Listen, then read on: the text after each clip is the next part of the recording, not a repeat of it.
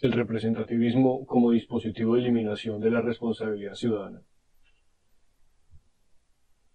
La democracia representativa dispone para su desarrollo de la instauración de un mecanismo de exclusión legítimo del ciudadano para dejarlo de los asuntos públicos. La exclusión se adopta a través del mecanismo de orden institucional, legal y cultural.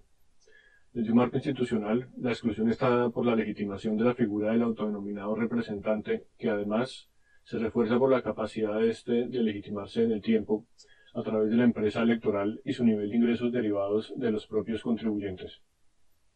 Desde un marco legal, la exclusión está dada por el blindaje jurídico que imposibilita un cambio en los mecanismos de toma de decisiones y que a su vez fue creado por el autodenominado representante de los intereses de los ciudadanos.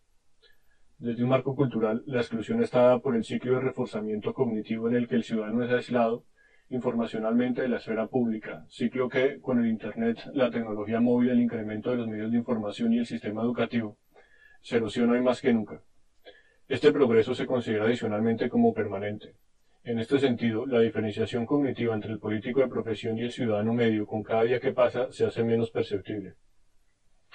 En la actualidad, además de ser un dispositivo de certificación del poder ilegítimo, es a su vez un mecanismo de justificación de amplios sectores de la sociedad que va en su responsabilidad como sujetos de obligaciones legales, éticas o funcionales del sistema.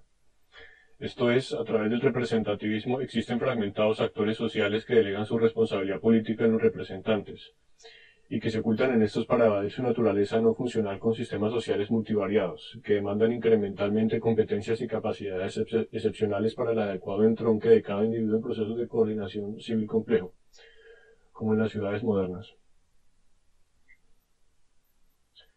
El autodenominado representante, por eso, es un organismo que debe su existencia al ciudadano que delega en la evasión de su responsabilidad, utilizándolo como justificación a los problemas sociales, económicos y políticos de un país en concreto.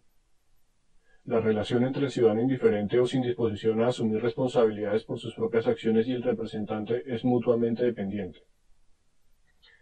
El problema, sin embargo, no está dado por el comportamiento ético de la relación simbiótica, sino por el componente sistémico y sus implicaciones.